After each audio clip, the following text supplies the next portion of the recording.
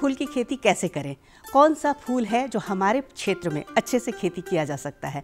पूरी जानकारी आपको दिलाते हैं इस कार्यक्रम के माध्यम से। किसान भाइयों, अपने प्रदेश झारखंड में जिस तरह से जलवायु परिवर्तन के कारण हमें अपनी मुख्य फ़सलों का नुकसान उठाना पड़ रहा है, ऐसे में ये आवश्यक है कि अपनी आय बढ़ाने के लिए किसान भाई फ़सलों का विविधीकरण करें। ऐसी स्थिति में फूलों की खेती अपनाकर किसान भाई अच्छा लाभ कमा सकते हैं। अपने प्रदेश में खुले वातावरण में हम गेंदे तथा ग्लेडुलस की भी खेती कर सकते हैं। संरक्षित संरचना में डच गुलाब तथा जरबेरा की खेती अच्छे से की जा सकती है। किसान भाइयों, दोनों ही खेती में हम राष्ट्रीय बागवानी मिशन तथा जिला उद्यान कार्यालय से मदद ले सकते हैं। किसान भाइयों, जैसा कि हम सभी जानते हैं कि हमारा जो क्षेत्र है, वहाँ पे सब्जियों की खेती प्रमुखता से की जाती है।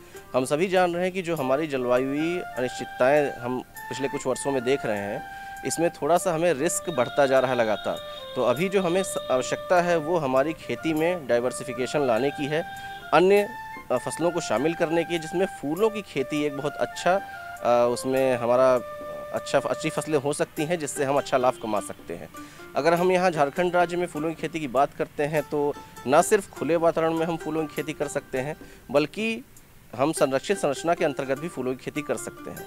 जब हम खुले वातावरण में फूलों की खेती की बात करते हैं तो बहुत ही आ, कम लागत में और सरलता से हम गेंदे की खेती से शुरुआत कर सकते हैं। इसके साथ ही हम ग्लेडियोलस की खेती के भी आ, खेती भी सफलतापूर्वक कर सकते हैं। वहीं जब संरक्षित संरचना के अंतर्गत खेती की बात आती है तो डच गुलाब की नेचुरली वेंटिलेटेड पॉली हाउस के अंतर्गत और जरबेरा की खेती हम लोग शेड नेट हाउस के अंतर्गत कर सकते हैं।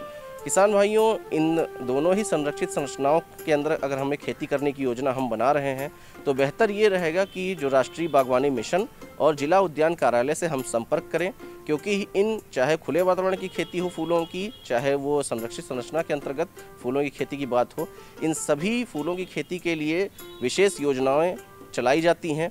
उसके अंदर किसान, किसानों को अनुदानित मूल्य पर न सिर्फ़ संरक्षित संरचना, इसके अलावा पौध का जैसे ग्लेडियोलस से कॉर्म का, इन सभी को उपलब्ध कराया जाता है। तो फूलों की खेती में जो लगने वाली प्रारंभिक लागत है, वो ना के बराबर किसानों को देनी पड़ती है और उससे वो अच्छी आमदनी भी अर्जित कर सकते हैं। यदि आप अपने फूलों को अच्छी कीमत पर बाज़ार में बेचना चाहते हैं तो कुछ बातों पर अवश्य ध्यान दें। सबसे पहले तो इसकी खेती उर्वर मिट्टी में करें, फिर सिंचाई की संपूर्ण व्यवस्था करें, क्योंकि हर फूल के लिए पानी अति आवश्यक है।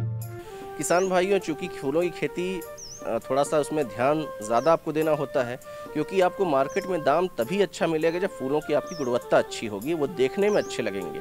तो जब कभी भी आप फूलों की खेती की योजना बना रहे हैं तो ये बा, इस बात का विशेष ध्यान रखिए कि जिस भी भूमि का आप चुनाव कर रहे हैं उसकी मिट्टी उर्वर हो सिंचाई व्यवस्था पे विशेष ध्यान आपको देना होगा। विशेष रूप से जब आप संरक्षित संरचना के अंतर्गत खेती कर रहे हैं। क्योंकि जैसा हमने बताया कि डच गुलाब की खेती आप कर सकते हैं पॉली हाउस में। इसके अलावा शेडनेट हाउस में आप जरबेरा की खेती करते हैं। इन दोनों ही खेती में आपको ड्रिप सिंचाई पद्धति का प्रयोग करना होता है। और अगर हम डच गुलाब की बात करें तो लगभग 800 मिलीलीटर से लेकर एक लीटर प्रति पौधा प्रतिदिन पानी की आवश्यकता होती है। इसी प्रकार से अगर हम जरबेरा की बात करते हैं तो लगभग 600 से 700 सौ प्रति पौधा प्रतिदिन हमको पानी की आवश्यकता होती है।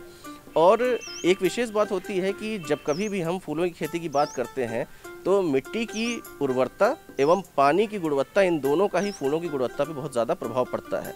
विशेष रूप से अगर हम ड्रिप सिंचाई पद्धति का प्रयोग कर रहे हैं तो पानी की गुणवत्ता की जाँच ज़रूर करवा लें, क्योंकि ऐसा देखा गया है कि अगर मैग्नीशियम और कैल्शियम की मात्रा अधिक पाई जाती है तो ना सिर्फ़ उसका फूलों की गुणवत्ता पे विपरीत प्रभाव पड़ता है, बल्कि जो हमारा ड्रिप इरिगेशन सिस्टम है, उसके ड्रिपर के चोक होने की भी अधिकता होती है, संभावना देखी जाती है।